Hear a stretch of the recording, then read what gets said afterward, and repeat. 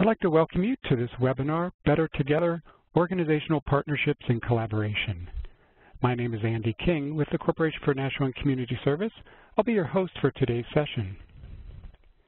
Joining me are Bethany DeSoblin and Sam Graziani. They are producers and technical support for today's program. You'll see all of us in the Q&A in the chat helping to answer your questions and provide you additional information and support during this session. It's now my pleasure to introduce our main speaker for today. Some of you may have already met Amy Salinas, as she's a facilitator at many of our VISTA pre-service orientations.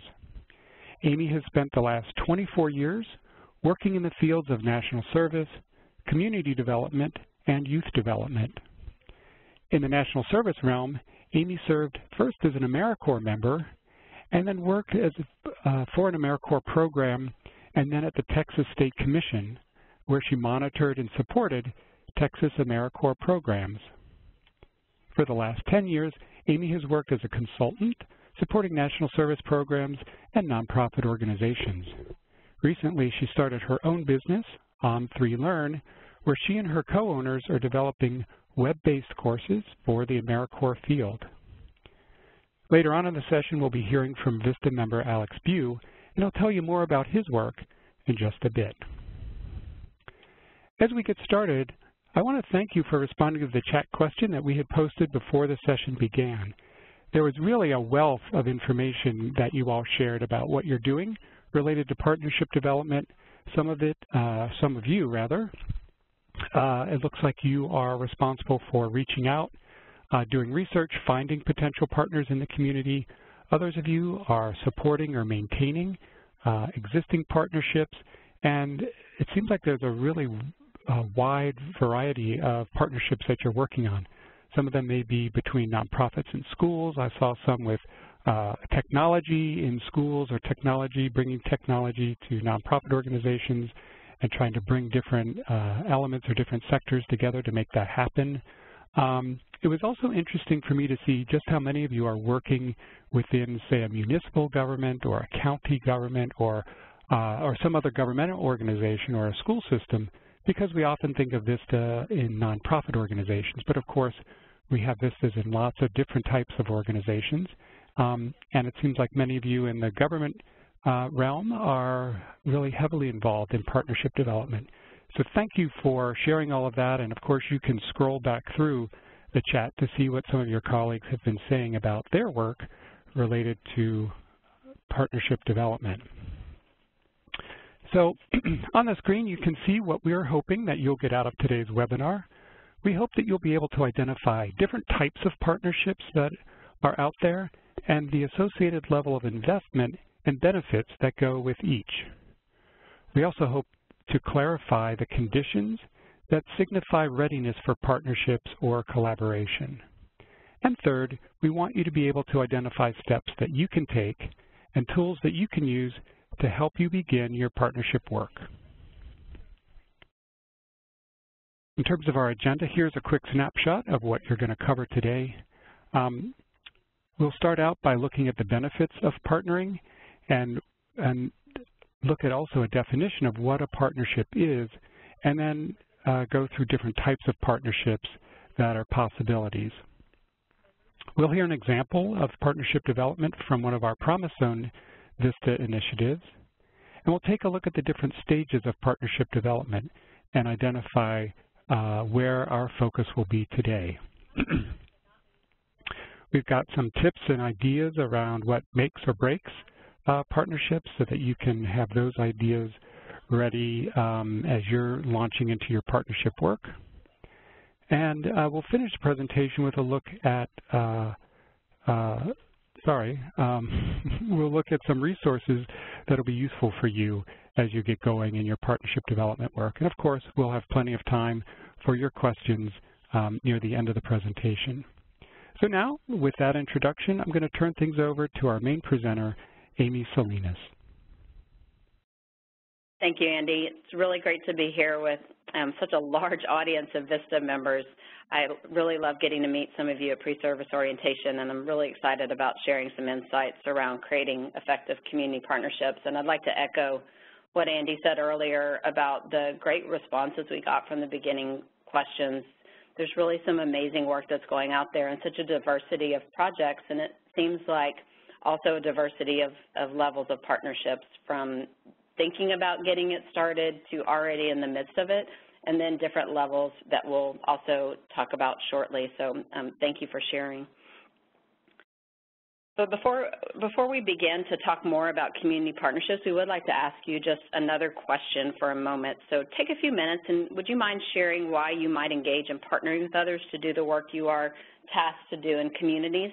And just a reminder, enter your ideas in the chat box and make sure you send to all participants because we want to make sure that your comments can be read by everyone. So what does your VISTA project hope to gain by partnering with other organizations?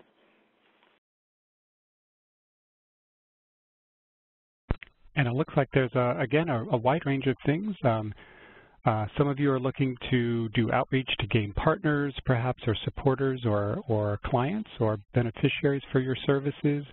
Um, someone commented that uh, individually we can't do it all, so in order to improve our efforts, um, we need to collaborate with others. Um, lots of things around uh, building capacity, which is great uh, as a focus for VISTAs, to, to partner with other organizations to bring in additional resources, skills, talents, or other, um, other resources to, to build capacity. Um, reaching a broader audience, engaging new donors, um, develop more relevant programming. Um, bottom line, to be more effective. So you can see there's a lot of commonality, a lot of um, things that you're saying that uh, resonate with uh, your colleagues. Um, so Amy, I'm going to turn it back to you with that quick snapshot of, of the responses. Great, thanks. I think they already addressed the next slide with their responses, but we'll echo some again of what you all contributed. Um, talking a little bit briefly about the benefits of partnerships, the answer really is relatively simple. There's an added value in working with other organizations. But additionally, there are a few major benefits that we can briefly discuss. Actually, I think all of which you all responded to in, in your responses to the previous question, but let's just briefly highlight them again. One, partnerships attract joint funding.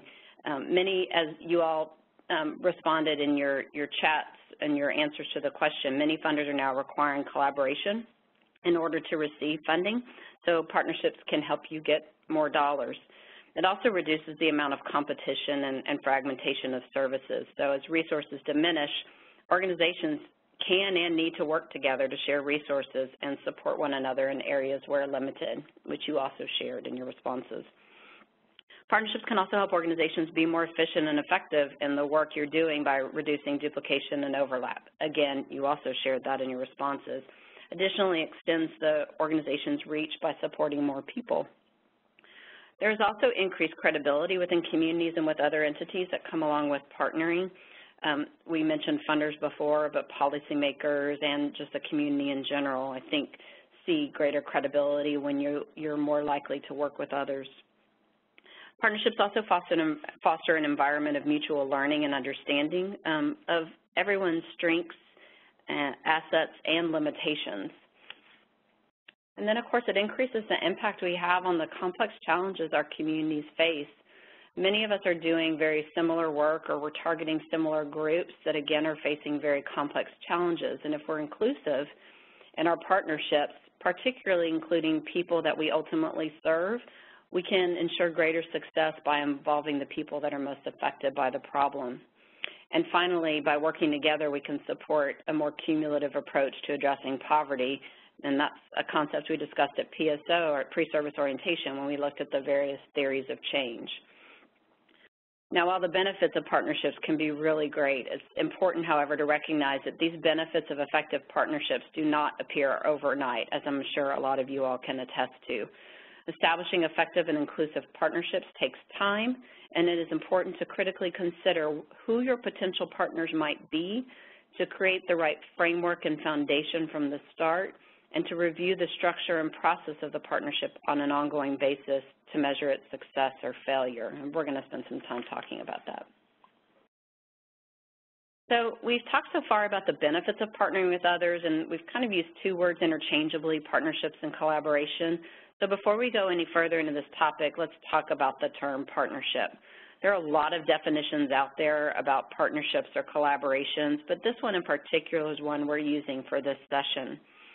As we think about partnerships, they're typically referred to as inherently complex but mutually beneficial and well-defined relationships between two or more entities, the purpose of which is to achieve results that are more likely to achieve together than alone, helping the organizations better serve the community and reach its own mission-focused goals for which we just talked about.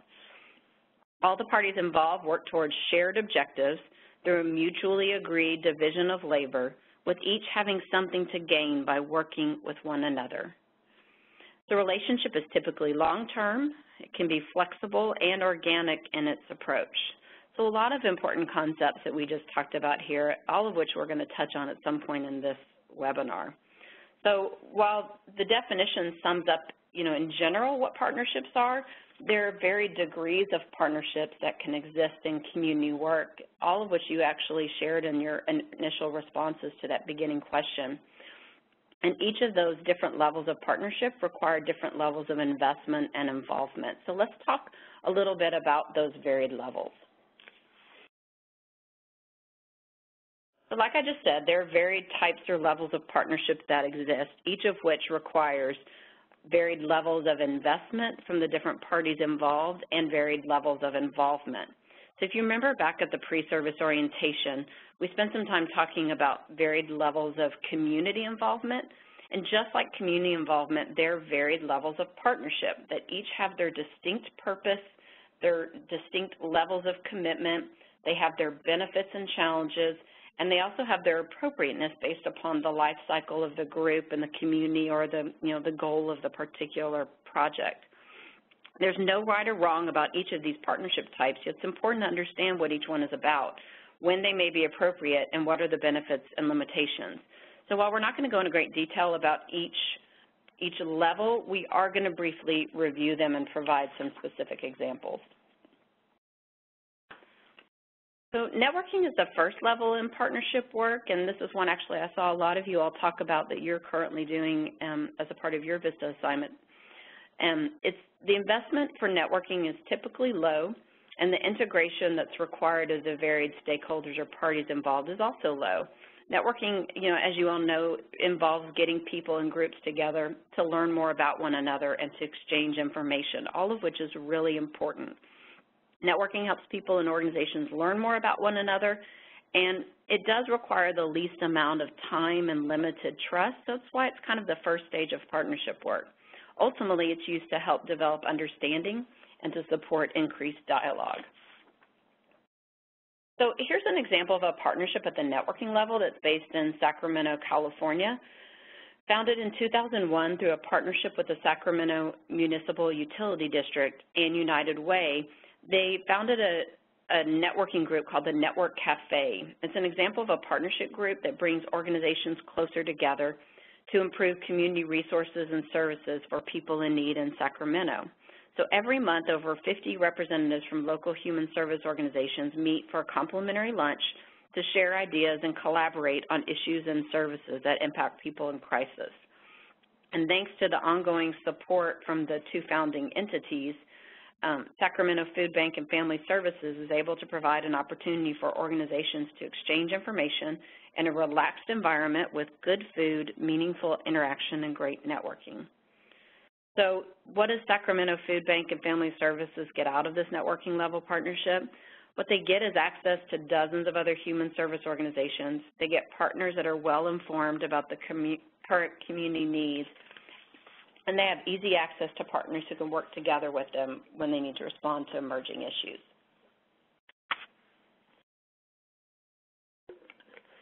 Coordination is the second level in partnership work where the investment of time and resources is a little bit higher, and the integration that is required of the various stakeholders or parties involved is also greater. At the coordination level, more formal arrangements and relationships are formed, putting things in writing to help parties understand their varied commitments. New structures or systems might be created to help provide a particular program or service so that duplication is eliminated. This requires that the parties involved create a shared mission, develop plans that require all parties to play a role, and activities are either altered or created so that a common purpose can be addressed. And the end result of this level of partnership work is a reduction in service duplication. We're going to share a couple of examples for this level of partnership, the first of which is a coordination level based here in Austin, Texas, where I'm actually, where I reside. So in the late 1990s and early 2000, a small group of literacy service providers and concerned community leaders coordinated a series of community forums, and they facilitated discussions centered on literacy needs in the community. And several themes emerged, including the need for both a centralized point of coordination for the community's literacy services, as well as increased public awareness and resources for those programs. So in response, they founded the Literacy Coalition of Central Texas in 2001 and became professionalized with its first paid staff member in 2003. So by working with their network of partner programs, they implemented services to underserved communities, they expanded into new markets, they increased the awareness of literacy needs in Central Texas, and they effectively doubled the number of learners being served by literacy programs in the region. Austin, Texas is representing, I see, good. So the example we're providing here, this next one, is actually an example of a partnership at the coordination level that involves two distinct organizations that are actually located hundreds of miles apart, illustrating that partners can come from anywhere, not just a geographical specific area. So in July of 2004, this is an example uh, of Seattle Children's Theater and the Children's Theater Company in Minneapolis. They were uh, they are considered to be the two leading theaters for young people in the nation. They created plays for young audiences to provide quality scripts written for young audiences to professional theaters, amateur community theaters, and schools. So these two distinct organizations work together to create this particular initiative. And the third level of partnership work is collaboration. This um, this level of partnership requires more investment of time and resources, and, integration, greater integration is also required at the various stakeholders or parties involved. So this level is, is kind of similar to the one before, but it requires a little bit more formality as separate organizations are typically brought into a new structure. So the relationship is more long-term focused with a specific mission that the parties are focusing on and an equal contribution of resources. This type of relationship collaboration helps to support greater sharing of resources and also extends the reach and scope of services by forming consortiums where the organiza organizations can identify themselves with a specific community or work purpose. So let's take a look at an example of a partnership at the collaboration level based in another Texas example, Tarrant County. As we talk about it, listen specifically for the investment of time and resources that is a little different from the ones before. So this example is the Tarrant County Homeless Coalition. It's a not-for-profit 501c3 organization that was formed in 1989. This particular coalition leads, coordinates, and develops strategies and resources to end homelessness. They, this coalition also plans, funds, and administers programs that assist homeless individuals and families in their transition from homelessness to housing. They are the lead agency in the HUD-funded Fort Worth, Arlington, and Tarrant County Continuum of Care for programs that provide shelter, housing, and services to homeless persons. This particular coordination is called the Continuum of Care. So the Continuum of Care planning process creates a strategic system of care to provide homeless people with housing and services appropriate to their needs. Um, TCHC, as I'm calling it, uh, the Homeless Coalition, they provide strategic functions for the community that include professional development for case managers and social workers.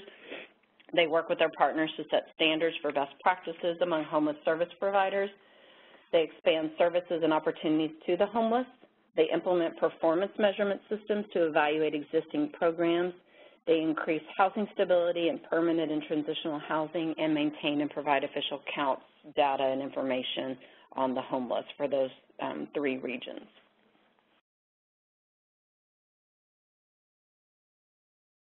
Mergers are the fourth level in partnership work where the investment of time and resources is very high and the integration that is required of the various stakeholders and parties involved is also very high.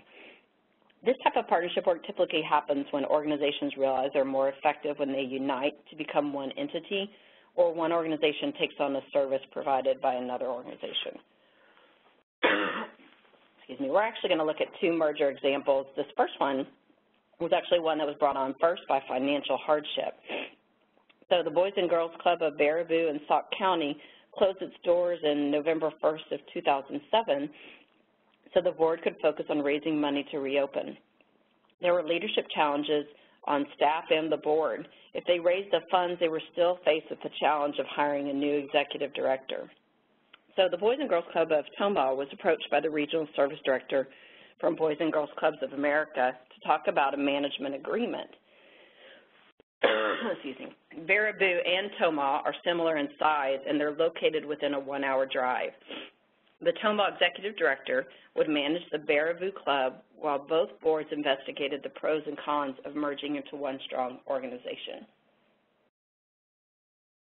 The management agreement was originally a six-month agreement that, excuse me, that automatically renewed unless canceled by either party, and it actually lasted 18 months. While at first this seemed to be a really long agreement, the executive director was able to gain trust of all board members on each board and to work with the staff to prepare them for a merger. It was not without frustration, however, this long-term engagement period allowed the two boards to get comfortable with each other and also helped the new organization's board development committee to set priorities and a base for the new corporate culture that was building on the strengths of both individual organizations. And this collaboration is a model of a short-term management agreement. So the next example we're going to look at is uh, another merger example that uh, is from the Arizona Children's Association, and it provides a good example of a nonprofit that has pursued um, strategically merger and acquisition and realized a real substantive value from doing so. So the first one was on financial hardship. The second one is a real strategic process um, to grow the services that they provide. So 15 years ago, this um, Arizona Children's Association was a $4.5 million organization sounds like a lot probably for a lot of you guys, focused primarily on offering residential services in Tucson. As they look to the future, the leaders realized that they would need to modify their mission to have the kind of impact that they wanted. The president and CEO said directly that we are primarily a residential treatment organization, and they didn't have any services in primary prevention and early childhood work. So from a mission perspective of protecting kids and preserving families, they needed to be serving kids earlier to give families the tools and reach the kids before they arrived at their residential services.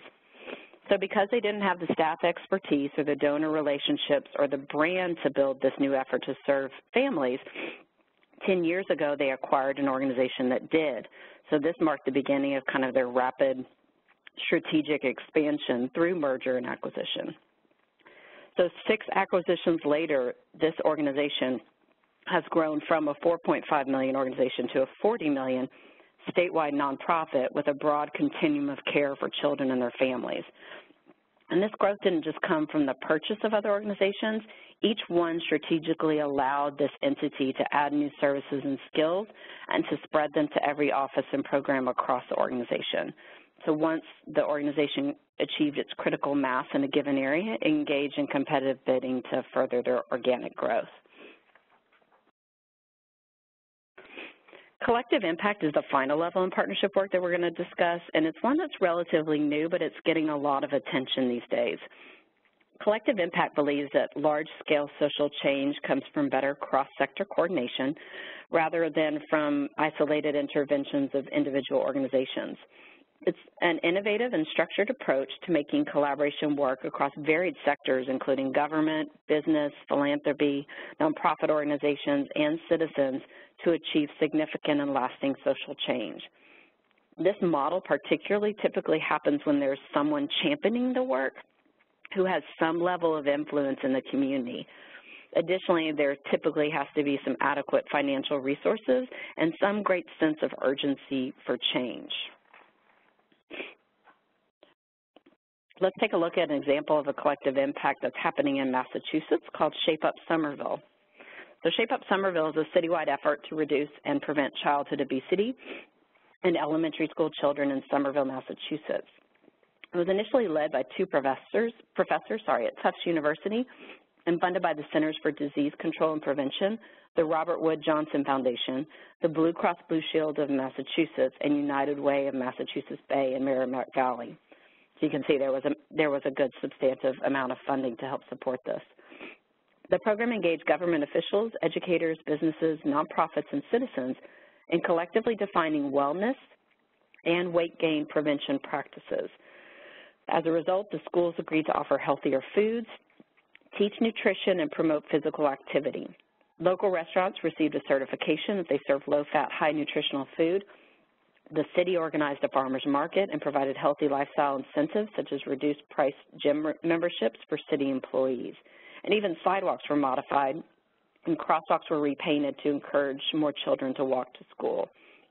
The result was a statistically significant decrease in body mass index along the community's young children between 2002 and 2005. And I know Bethany is going to uh, put a link in the chat box if you're interested in learning more. So we just went through the varied partnership levels and illustrated for you the differences in what was involved in terms of investment and integration of the stakeholders. And again, there's no right or wrong on these different levels, all appropriate at different times. We're actually now going to hear from one of our great vistas who will show us an additional example of community work that is happening through the collective impact model, the last one we just discussed around partnerships. Yeah, and now I'd like to introduce to you Alex Bew. Alex is a Promise Zone Economic Development and Public Safety Coordinator with the City of Philadelphia's Mayor's Office of Community Empowerment and Opportunity. Alex is helping to jumpstart the West Philadelphia Renaissance with renovated storefronts, refurbished upper floors, and safer streets. Alex is originally from Oakland, California. He graduated from Vassar College, worked in Jakarta as a journalist, and then he moved to Philadelphia to serve with AmeriCorps Vista in the Philadelphia Promise Zone. Alex? Hi, this is Alex. Can you hear me?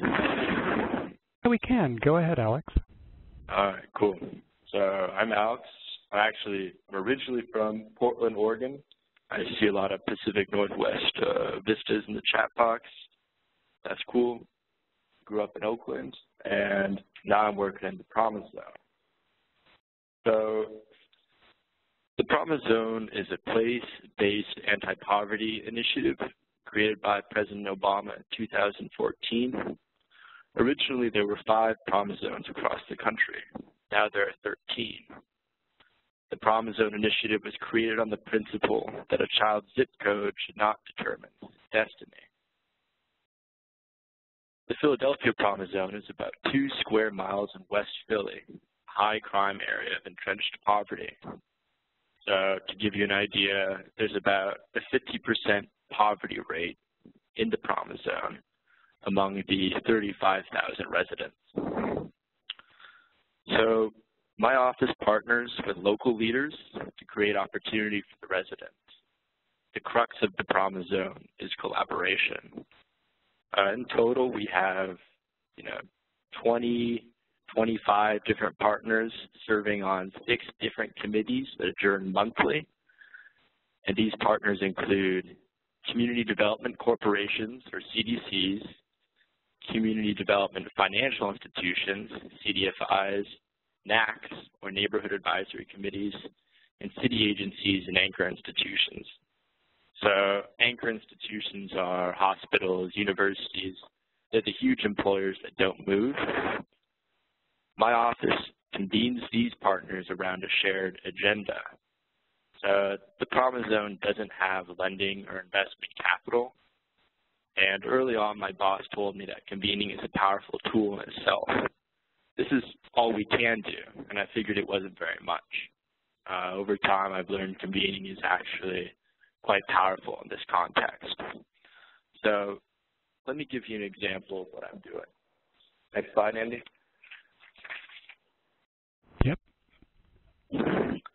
So there's this program called the Storefront Improvement Program. And this is the program that convinced me the power of partnership. So SIP is a program put in place by the Philadelphia Department of Commerce. Uh, property and business owners on commercial corridors are eligible for application. So commercial corridors are those busy streets of restaurants, apartments, and retailers that you would recognize in every neighborhood. And there are two big commercial corridors inside the Promise Zone. Okay, so back to SIP. SIP reimburses successful applicants for the program up to 50% of the cost of their storefront renovations. So the cap is at $5,000, and if a business spends $10,000 towards improving its storefront, they receive half that money back as a result of the storefront improvement program. So beautified facades are really important. This isn't just an aesthetic change. Uh, beautified facades increase foot traffic, they increase commerce, and as a result, they make neighborhoods safer. And you know, the, the Promise Zone is historically a dangerous area. For example, this quarter alone, we've seen 20 shootings.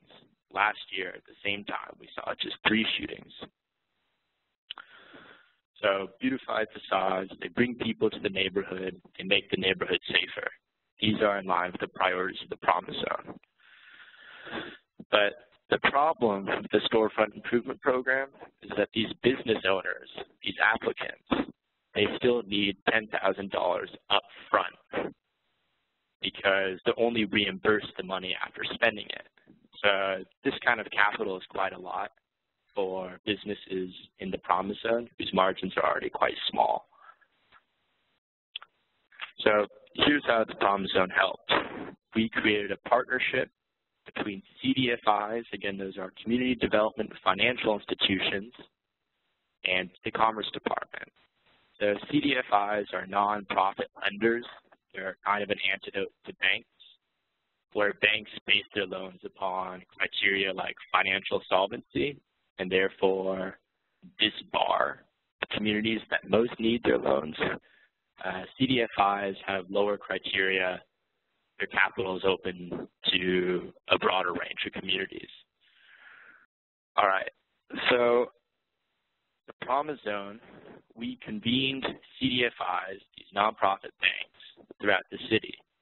We created a shared agenda that targeted corridors in the Promise Zone. So, for example, one CDFI expressed interest in helping businesses access the storefront improvement program. I'm sorry, this is a, these are a lot of acronyms. Um, but again, the SIP is that program that reimburses small business owners on corridors up to $5,000. So with the CDFI, we created a zero interest lending program to cover the upfront cost. There are other CDFIs, other lenders with other interests, and we're putting together a loan program for interior renovations.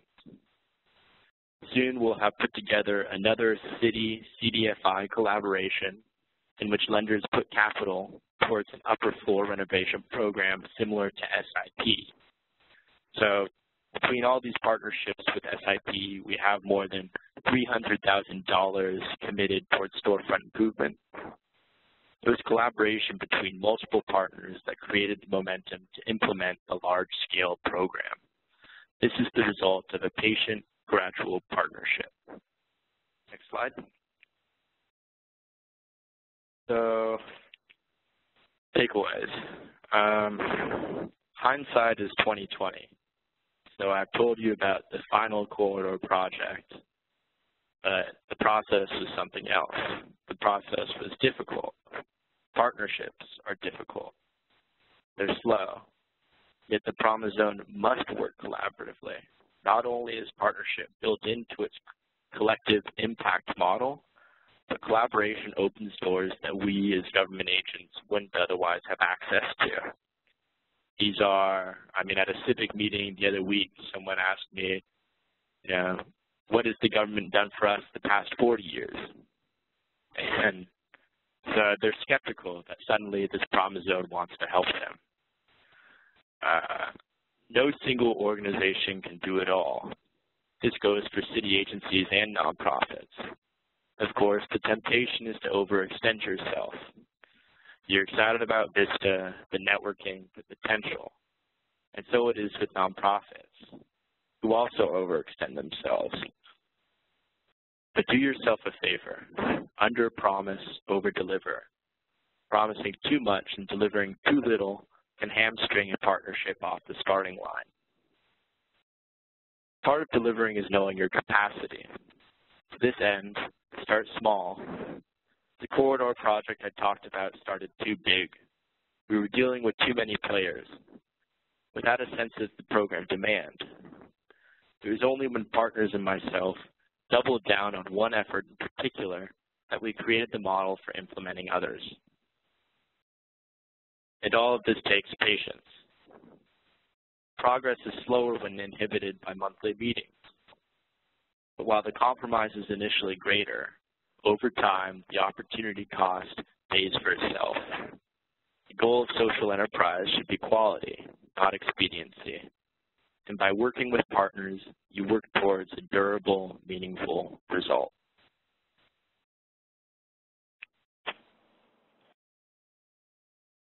And thank you, Alex, for sharing your experiences with partnership development work with the Philadelphia Promise Zone. Alex is going to stick around for the rest of the session, so if you have questions specifically for Alex, feel free to submit them in the question and answer, and we'll make sure that they get responded to. As Alex said, partnerships are many times slow-moving and complex and require a lot of patience, which is why the pre-partnership phase or planning phase is so very important. No matter where you are and the type of partnership you're considering or are engaged in, it's important to consider conditions that signify either readiness or lack of readiness, both within your organization and outside of your organization. Partnerships and collaboration can often be talked about in terms of a journey or a trip, and sometimes you have a real clear destination and other times you do not. Regardless, you take paths that get you places. So similar to trips or journeys, collaborations move through loose phases that have varied tasks which can be accomplished or milestones that can be achieved. There are many descriptions out there about the phases of partnership work, but this is one we're going to specifically present, which comes from the University of Wisconsin Cooperative Extension. What it says basically is there are three phases of partnership and collaboration building for which there are not distinct requirements per se, but just suggestions on tasks to consider. Phase one is about getting started. Someone or some entity has an idea and wants to share it with others. There's a vision that is shared and refined, interests of varied parties that are explored, and stakeholders are identified, assessed, and engaged. Here, relationships are built and decisions are made about whether or not each individual stakeholder can and is willing to be a part of the partnership. For the purpose of this webinar, this is where we're going to spend our time, but let's talk a little bit briefly about the other two phases. Phase two is the particular phase about the path to success. So the route the partnership group will take to get where they want to go.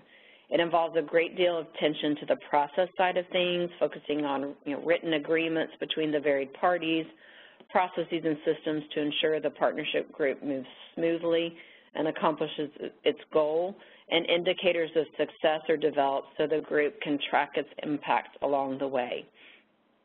And finally, phase three is about getting to the final destination. It's at this point that the partnership group is focused on both celebration and sustainability, showcasing the impact and accomplishments and exploring ways to ensure that the work is sustained over time and getting larger buy-in from the community so the work can continue.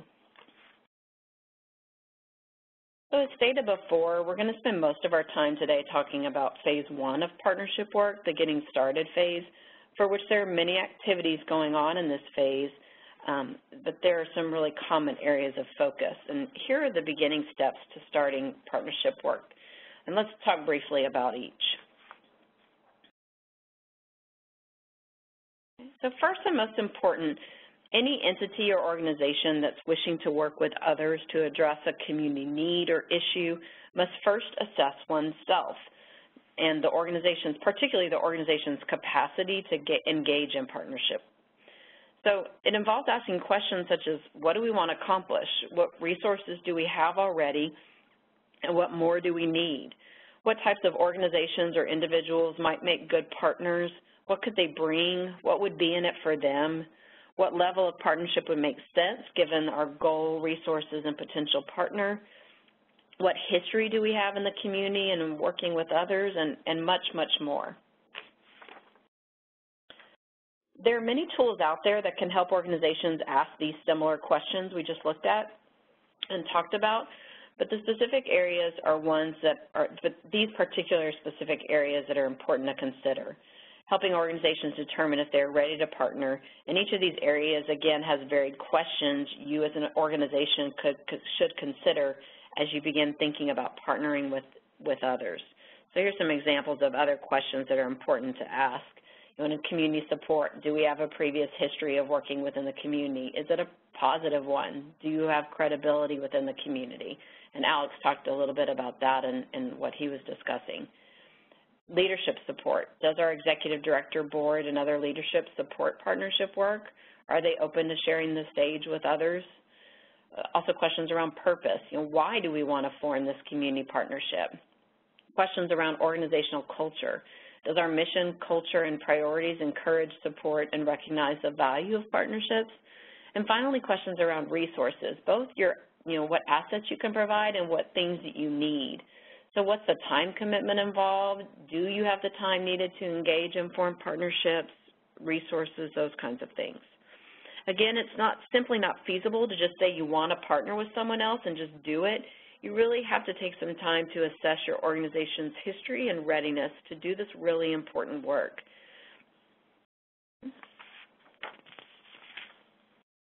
So I want to talk to you about a particular tool, thank you, um, this one is one that you all can actually use or an organization can use to conduct on themselves to determine the, your self-readiness for partnership work, and it actually is available to you, um, and we'll reference it and where it is located at the end of this webinar. Now, while serving as a VISTA, you may or may not have the authority to do an internal assessment of your organization's readiness to partner, but what you can do is ask some of these questions in a more informal way either to your supervisor or other points of contact so you can learn more about your organization. And as you engage in partnership work in the future, this tool can be very helpful. A few things to remember, though, about this tool and others that are out there like this. There's not like a number out there that if you answer so many questions correct, you're ready to partner. These questions really solely serve as a guide to help organizations better understand their own capacities and readiness ultimately these questions can help your organization become more aware of your, your current strengths, weaknesses, opportunities, and threats. The second step in beginning partnership work after you've kind of assessed your own organization's internal readiness is determining who your organization should partner with, whether it's people, varied organizations, or varied entities. And just like there were varied areas of your organization readiness, there are also varied areas for which you need to assess potential fit with others. So first you have to assess who might be a potential partner in the work you want to do.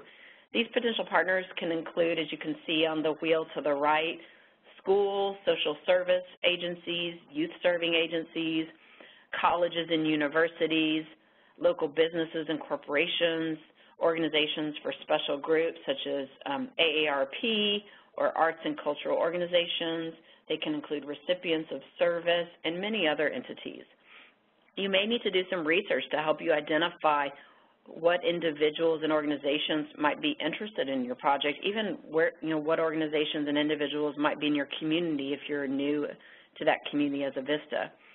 So try to learn as much as possible about the community, its strengths, its resources, its people, its history and culture, and who are the leaders. And learning more about this community before approaching shows that you're genuinely interested in the community and can really help you gain local credibility.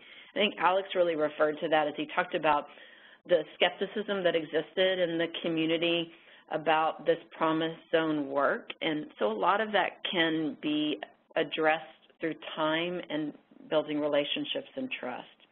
You also can gain a better sense of who might serve as possible community partners um, getting to know the community and how it works is, is an ongoing process, I think like Alex referred to, that takes time and patient, patience. You look to varied community resources and sections to really understand the makeup and history of the community. So a couple things I want to point out. You know, once you've identified who those individuals or organizations or entities are, it's really important to consider a few things. One, you know, just network, network, network. Network your way in the door. It's really important that you as a VISTA or as a, just a community participant get to know those in the community. It may be in, include attending community meetings. It may be in participating in a range of advisory committees or associations. And recognize that, you know, building relationships and getting your foot in the door is a slow process and a social process. So it does take time and patience. The second piece is really arm yourself with information. Learn as much as you can about both the community and the individuals and entities within it. You'll find out what folks' histories are, what they do, what their strengths are, how they fit within the current community, and be prepared to, you know, absorb that information and share it as you're having conversations. The third thing is focus on your potential partner and what they need. A lot of times we go to people with what we want, but instead really think about um, what you can offer and what you require. So if possible, really be prepared to be um, present options for the entity that you're approaching as far as benefits and opportunities and things that you need to make the partnership work, but also be prepared to be flexible um, as you're talking to folks and, and, be prepared to kind of customize things as you, as you enter into discussions. The fourth thing is present your partnership through a strong and formal presentation.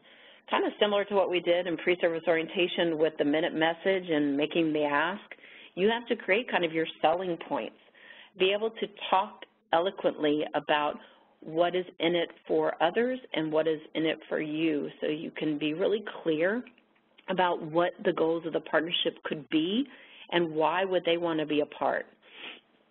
Um, and finally, you know, the importance of being persistent and following up. You know, it's one thing to make a great presentation to folks about the potential for partnerships, but you have to take the responsibility for following up afterwards. And that could be by, you know, arranging a time to follow up with a meeting or another conversation after that original presentation. It could be writing up a formal, you know, memo about what was discussed and what you agreed upon. It really is important to make sure that you recognize that it's a constant process that you have to stay on top of. We had a program director that constantly talks about this phase of the partnership work as kind of a constant PR campaign. So this second tool we're showing here is also one that will be available for you and is one that can help you with this assessing the potential partnership phase.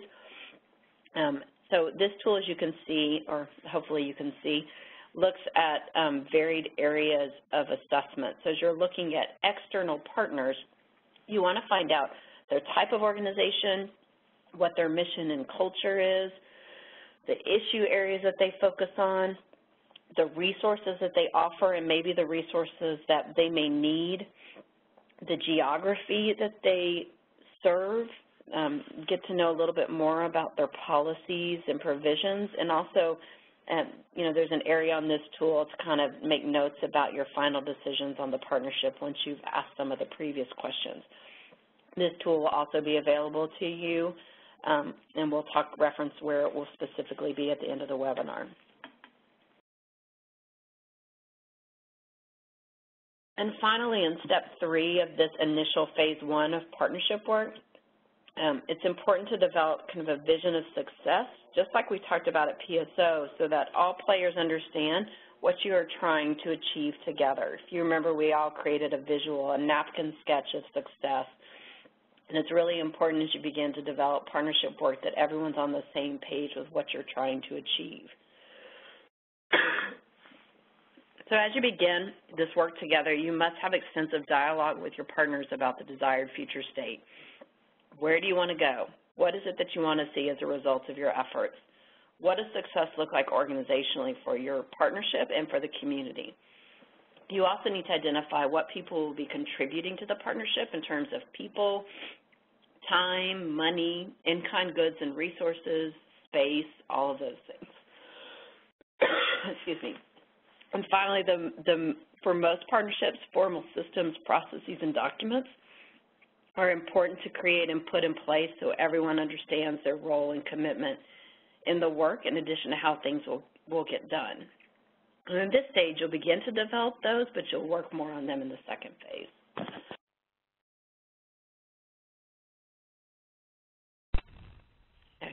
So to wrap up our time in talking about partnerships and, and how to begin the work, we want to spend some final time talking about factors that can make or break partnerships.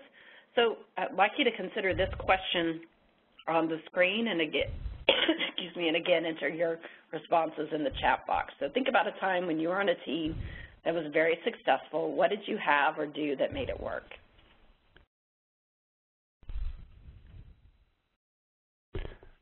All right, and the responses are starting to come in. First up, we heard from Taylor, constant and thorough communication, which of course is key to any kind of relationship.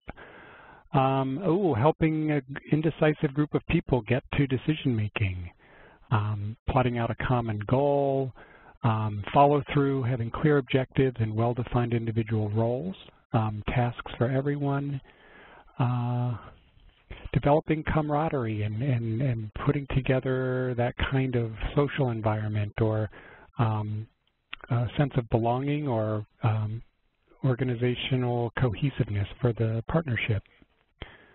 Um, being organized, staying on topic during meetings, getting ideas from other people. Um, again, clear goal, outlining tasks, having a leader who took responsibility to organize the group. So lots and lots of great ideas about what makes uh, a team effective, um, and a lot of that was around organization, communication, leadership, and follow-through. So Amy, I'll go back to you. Thank you. So um, similar to the responses that Andy was just reading out loud and that you gave, there are many factors that can help partnerships to work more successfully. So we're going to talk briefly about some of those factors. The ones you see here now on the screen are ones that really are important to be in place for partnerships to be successful. Again, many of which mirror what you just shared to that previous question.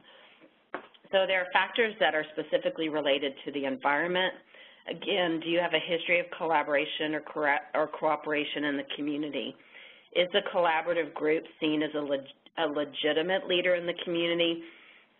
And is there um, a political and social climate that's favorable right now for this work? Second, there are factors related to membership characteristics. So one, do you have mutual respect, understanding, and trust within the group? You, you talked about that earlier. Are there appropriate cross-section of members? Have a diverse group of people been, you know, thought about in the forming of the group? And our members, do members see collaboration as important for the whole, or are they seeing it more in their self-interest? And, you know, also, is there an ability to compromise, which you talked about in your responses? There's also factors related to process and structure, which we've talked about a little bit. You know, do members share a stake in both the process and the outcomes? Are there multiple layers of decision making with some flexibility that exists so that people feel like changes can be made? Are there clear roles and policy guidelines that are written down and agreed upon and signed? And that particularly plays a role in some of the, you know, the, the levels of partnership that we discussed towards the end of the continuum. And finally, is there adaptability, kind of flexibility and adaptability? There are also factors related to communication is there open and frequent communication? And are there both like established informal and formal communication links? There are also factors related to purpose. Like we said before, it's really important in phase one to set um, concrete attainable goals and objectives and to create that shared vision that has a unique purpose that everyone feels that they can play a part towards. And finally, we discussed this a few times, there are factors related to resources. It's really important that you have both sufficient funds and I'd say sufficient resources in terms of people and time, and also there needs to be a skills convener, someone that's trusted that can really facilitate the group moving along. And finally, I think like all of us know, kind of trust is at the foundation of it all. It's really important to be, a, be very clear about your interests and your partner's interests, because sometimes those interests are, are not the same, and really make the case for a partnership based on your prospective partner's interests, not just yours. Be really alert to potential turf issues, because they really do exist in communities, um, and these could include conflicting work styles, different languages, and just separate priorities. Really important to agree on the goals of the partnership you know, as Alex said, start smaller and build gradually. Be careful not to start with too much so that you can build successes along the way. It's also really important to identify who is responsible for what task, and that part of that goes into the, the written documents that can really outlining that and making sure that everyone is, plays a responsible part. It's also really important to be specific about financial arrangements and really take care of that discussion up front so that everyone understands what finances and in-kind resources they're committing to the work. It's also really important to discuss topics around liability and things like that to ensure that um, those issues are on the table at the very beginning, similar to the financial piece. And again, agree on the measures of success for the partnership and, and, agree on it so that everyone has a part in making the decisions about that and can really buy into what that success is about. It's really, um, also you all know it's very important that you carry out the end of your bargain and your partner carries out the end of the bargain. If either one of you are not playing, carrying out what you said you would do, that can impact the level of trust that exists in the partnership. And finally, and then of course, establish upfront how communication takes place. We talked about that just a second ago. Um, and also the importance, as we talked about in the previous slide, of that one liaison, that convener that is responsible for making sure the group moves forward. And then, of course, we've talked about this several times, having that written agreement is really important, particularly as you go on to the, um, the varied levels of partnerships that require more formality.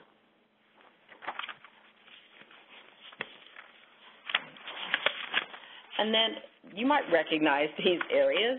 This brings us back to the key skilled areas we discussed during PSO, or pre-service orientation, that we talked about um, being crucial to capacity building and community empowerment. If you remember these symbols, they were relationship building, problem solving, and communication. So not only are these skill areas essential to your success, but they are also essential to partnership work. And at the root of these three skill areas is the factor of trust that we just discussed.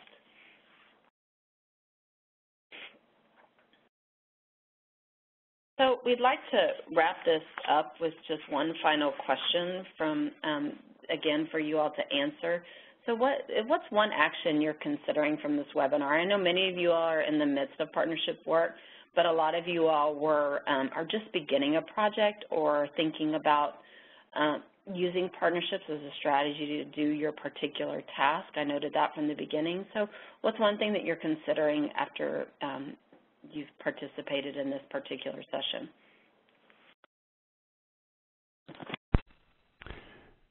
So it looks like a lot of you already have ideas for what you're going to do, which is great. Um, Alex says putting together notes to share with coworkers and bosses. It's a great way to share the learning so that you're not the only one who um, has this understanding. Um, uh, several of you have mentioned the internal assessment for readiness. So figure out where your organization is and whether this is the right time, and if it's not, maybe what you need to do to get your organization ready.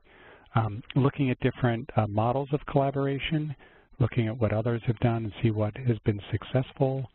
Um, ah, there's a uh, an existing partnership that's not really in use, but it could be revitalized, so that would be a great uh, step for um, for one of you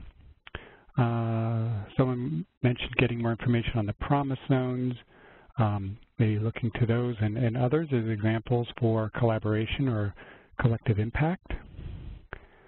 Um, uh, becoming a little bit more strategic in creating our partnerships so rather than just diving in, maybe doing some research or, or having a, a, plan and a, a potential goal um, to help direct your work there. Uh, another idea, meeting with potential partners, um, uh, focusing on your communication to make sure that things are clear and that everybody understands what the, the goal and intention so they can line it up with their mission. Um, so lots of, lots of you have great ideas for what you can do as a result of this session um, to get started or to, to advance your partnership work. So Amy, um, maybe we can share now some resources.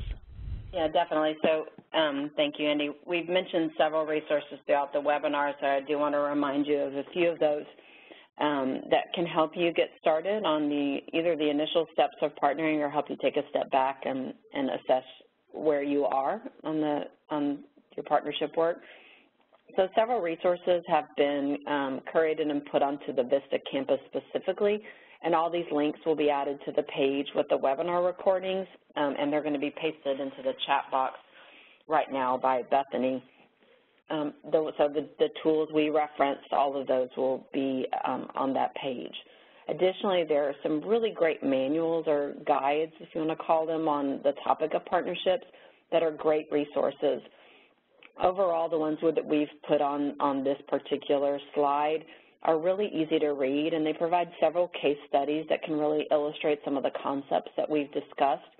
Particularly my favorites are the Making Community Partnerships Work Manual and the frameworks for working together. Again, they're just really easy to read, and I, I love them because they're written by community folks with some really good ideas and illustrations to demonstrate some of the importance of these concepts. And then finally, um, so to kind of wrap up, so now that you've heard this information, just some things to think about. Where should you start if you, you're being specifically tasked to support partnership work? Or maybe you're considering, considering forming a partnership to support the particular task on your VISTA assignment description. Just consider these important steps that you can take first. Spend time, I would suggest spend time reviewing some of the resources that are on the campus. There's a lot of great um, resources around partnership on the VISTA campus and also the ones that we're posting on the webinar recording page we think will be really helpful for you. Also, talk with your supervisor and your um, organization leadership about the history of partnerships and ideas for future focus. Um, third, I'd, I'd, really start with the internal assessment. Really take a look internally about your organization's readiness to partner and maybe what areas you may need to to work on to be better prepared for this partnership work. And then fourth, consider potential partners, get to really know the community and ask assessment questions about the potential fit. Whatever you do, however, it's really important that you don't engage in partnership work without, of course, talking to your supervisor first. Both your supervisor and your organization have to really buy into the process and, and trust you as a player in this partnership work, which is very important work. So make sure that that's always at the forefront of your mind, which I know it always is. Excellent. Thank you so much, Amy. Um, we're going to get to your questions in just a minute, but uh, before we do that, I want to invite you to take a minute to respond to our evaluation poll. You see it there on the right side of your screen. It takes just a couple minutes to answer uh, these 10 questions. Um, tells what you thought about today's presentation and also ideas you have for other topics that we could offer in the future. And while you're working on that, we're going to turn um, to your questions. And so I'm going to invite our operator, Ted, to come back on the line and explain for those of you who have connected by phone how you can ask a question. Ted? The phone lines are now open for questions. If you'd like to ask a question over the phone, please press star one and record your name. If you'd like to withdraw your question, press star two. Thank you. All right, and of course we um, still have the Q&A feature, which is available on the right side of your screen. It's now just above the evaluation poll. So if um, you don't see it open, you can click on the triangle next to Q&A, and that will open up the Q&A panel so you can ask a question. Uh, so we've got a few questions in already. Um, and let's see. Uh, well, uh, looks like we've answered some of these already in um, during the presentation.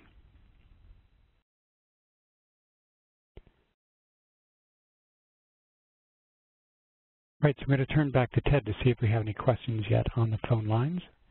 I'm not showing any questions yet, but again, if you would like to ask a question, please press star one.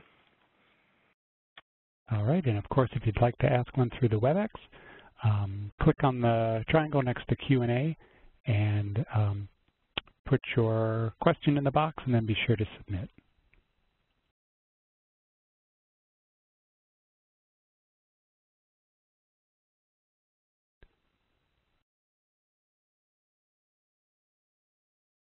And while we're waiting for questions to come in, um, maybe, uh, Sam, we can go back to our resources slide, and we can have those up so folks can take a look um, to see some of those things. Great, thank you. Um, there are a number of uh, a number of resources available, as Amy mentioned, on the Vista campus. Uh, we've already, um, we do have a recording of another webinar that we did um, a couple years ago, I think, takes a slightly different look at partnership work, um, but we've got uh, the other resources that are listed here um, that we really recommend that you take a look at. And then, in particular, the assessment tools um, that we've talked about, both the internal uh, assessment and the external assessment. Um, those links are posted in the chat. You can scroll up and find those, or um, they'll be available on the Vista campus when we post the recording of this, uh, this session.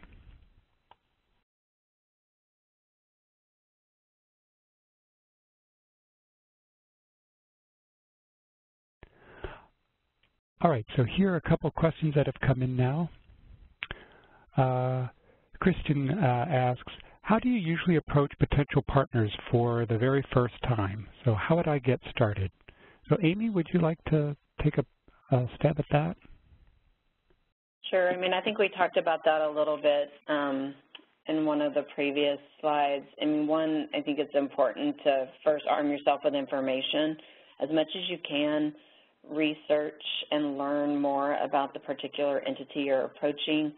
Um, both, you know, like basic information around like what their mission is, what their goals are, what geographic area they serve, who's their, you know, who staffs their organization, those kinds of things. So you're armed with information about who you're approaching and any way that you can start to build relationships with those entities, whether, again, like we talked about, you know, going to community meetings, uh, being a part of different committees or associations, uh, maybe finding someone who may have an already developed relationship with that entity so you can get a foot in the door that way. It's, it's almost so similar to when you're getting ready to do an interview for a job, you know, doing that initial um, ground research that can help, you know, you know more about the entity that you're approaching, but also finding people that can help get your foot in the door so that person sees you as someone that they can trust. I don't know if others have any thoughts or if Alex, you have additional ideas.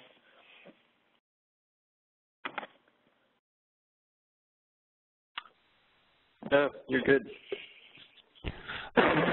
All right, thanks, Amy. Um, and this next question um, talks uh, about federal funding, so maybe both Amy and Alex will have some thoughts about it. Yeah. So, so Corey asks, uh, can you speak a little bit about joint funding and how partnerships can work together uh, to seek or, or to um, put to use federal funding. So Amy, do you want to start with that? And then Alex, maybe you can add to it. Sure. I mean, with federal funding in particular, most of the times it has to be one entity that's making the application for the funding, but um, the varied entity for which you're applying might have particular rules about um, partnerships and engagement, and it, it may be as simple as they require um, letters of a formal letters of agreement to be emailed as attachments, or they may require you to talk about in a narrative form about the um, role that partners and community um, entities have played in the development of this proposal and idea. Really run the gamut, but typically there has to be one entity that um, is willing to take the responsibility serve as, as kind of what you would call the legal applicant. Right. So typically there is a leading applicant who takes that responsibility. Mm. Um, but in my experience with the Promise Zone, there is a swing towards collaborative applications. This is in part the purpose of the Promise Zone, incentivizing joint federal grant applications. And so it's often the stipulation that, for example, a government agency like my own office or like the Mayor's Office of Art, for example, must apply in coordination, in conjunction with a local nonprofit. Um, so that said, there's, there's a lot of overhead involved. I mean, federal grants in particular are rigorous processes. Uh, in a way, they're primed for partnership because, for example, my office has greater reach with data, and that's exactly what these federal reviewers want to see, data. And so having a nonprofit partner with a government organization is a way of bringing down bigger funds and also exploiting the resources of the government. Great. Thanks, Alex and Amy, for that one. Um, next question is, uh, Thomas sounds like he's having a struggle engaging partners um, who need to submit documentation. He said he doesn't get responses back from them sometimes and he's not sure how to proceed. there, I, I think that's, there's so many, I think, factors that you have to assess um, to figure out why you're not getting the responses you're getting, and there could be so many things. Um, it could be about trust, like we discussed earlier. There might be a history of mistrust, so people aren't as um, willing to provide that information in a timely way. Um, it could be, too, that it, you know, there is a perception sometimes that, oh, this is yet another uh, initiative that someone's requiring me to do. And so really, a lot of that stuff takes time that they can see that you're investing in the long term and this is something that's important that they participate in because they're going to get a real, they're going to see the results both for themselves and the overall community. It could be, too, that they don't understand what the big picture of the work is about. So we talked about the importance of setting visions and goals and outcomes. If they weren't a part of the process and they don't see how what you're asking them to turn in or require them to do will help to meet that, then you also could see challenges like that that you're seeing. And, you know, I also think that results are really important to be able to demonstrate. So I think if people can't see results over time, you know, for the work that they're investing in it, they're also less likely to participate as you would like. So I oftentimes think about assessing it along those terms.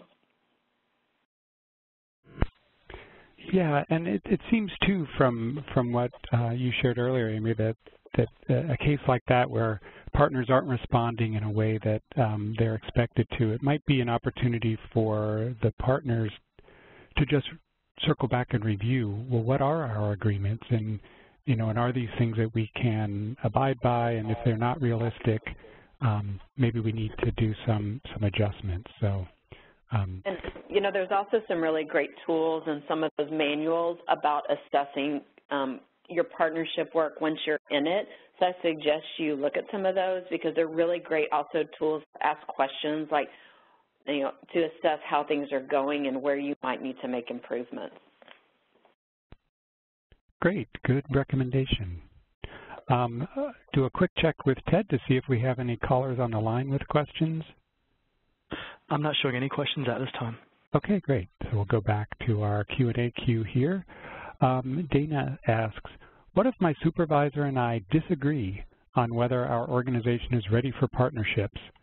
Um, I was brought on in my VISTA role solely to establish these partnerships. So I'm guessing maybe uh, the supervisor, well, it, we can't tell from this who, who thinks which way, but um, there's, there's that disagreement. So um, Amy, any thoughts on what Dana could do when she and her, or he and her supervisor don't agree on um, whether they're ready? Yeah, I mean, we talk about this so much in pre-service orientation about um, the relationship between VISTA and supervisor, I oftentimes refer to it as a dance. That's something you have to kind of navigate and, and work slowly through. And um, sometimes you have these great ideas that you want to implement and the supervisor may disagree with you or they may support you and say, go forth and do. And um, I think it's important to recognize that, you know, you're a guest in this year in that organization and as a, in that role as a guest, you, you do have to really respect the the feedback and the input that your supervisor is giving while at the same time trying to gently influence them in ways that you think might move the, the work forward. Um, but in the end, you know, you only can do your, your positive steps to influence your supervisor and, and guide, have those critical and important discussions.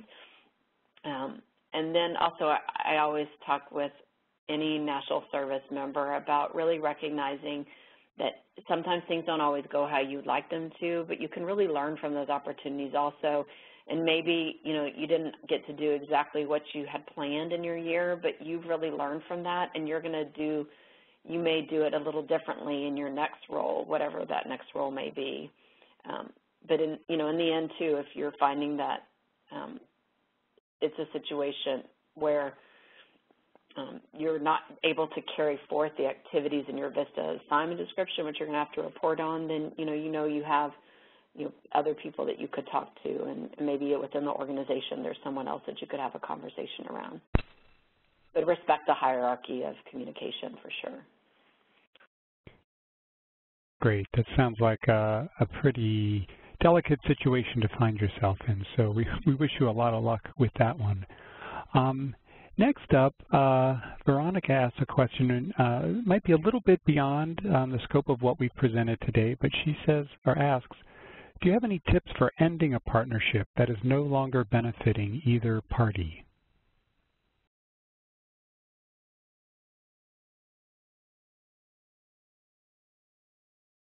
I'm thinking about that one. yeah, well, we, we were so focused on all the, the partnership startup and the, the first phase that um, we really, um, you know, like I said, this is a little bit beyond what we had planned to talk about today. Yeah, I mean, I think some of the concepts we talked about in the beginning phases are also very equally important in the ending phases. Um, I, I, do want to also reference those manuals because those manuals also reference the, the varied phases and some things to consider. But I think making sure that your communication is very clear that you're really, you know, you're paying attention to relationship and trust um, because people um, probably care very deeply about the issue or the community or the work that they've engaged in over how, however long the time frame has been. So closing something out like that can be very personal for folks. So making sure that um, if you're doing so that you're respecting communication a lot and that you're able to really show people the success that they've achieved over time and why maybe the partnership is no longer needed because this is now happening as a result of all the great work that you did. Great, great, good response. Um, we've got a little more than five minutes left and a few more questions to go, so we'll do our best to um, to try to get to everyone. Uh, Lowell asks, are there examples of grant submissions available for partners who may want to apply for federal grants? So Amy, do you have any thoughts about that?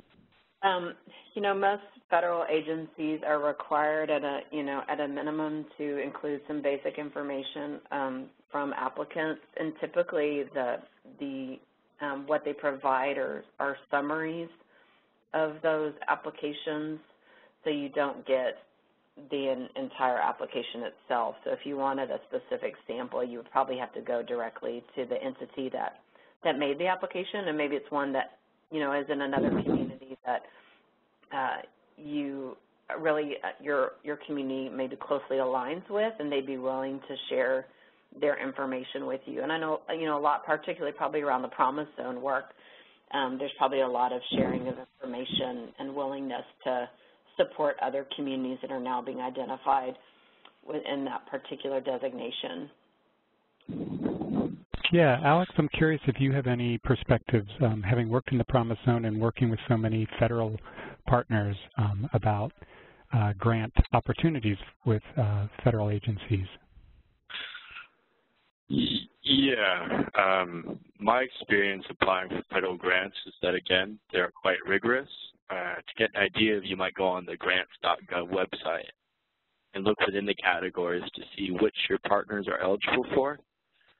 Um, but depending upon the extensiveness and the capacity, the extensiveness of the grant application, the capacity of your partner, I would recommend looking perhaps locally to foundations and also if they're looking for technical assistance, smaller nonprofits, again, like CDFIs, community development financial institutions, would be able to make those smaller loans and grants.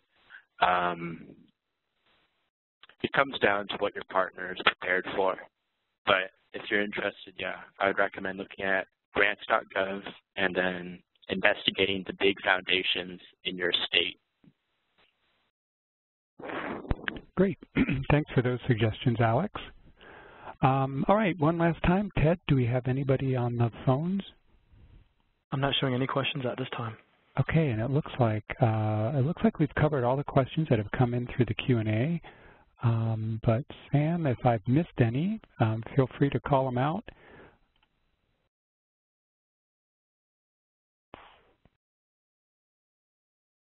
And it looks like not. So um, I want to thank all of you for participating today. The, the chat um, participation, your responses there has been great and enriching, um, and hopefully you found something helpful there. I also want to invite you and, and, give you a little bit of information about our next webinar for VISTA members. It's Avoiding Burnout During Service, coming up on November 12th, same time. Um, you'll be getting an email with more details about that, so we encourage you to sign up if that one is of interest. And I also want to take this time to thank both of our presenters today, Amos Salinas, um, one of our PSO facilitators um, and a great trainer, and then Alex Bew, the VISTA member serving with the Philadelphia Promise Zone, um, for all of the information that they have researched and put together um, and the great presentation they've done today. So thank you all for participating, and we look forward to seeing you again soon.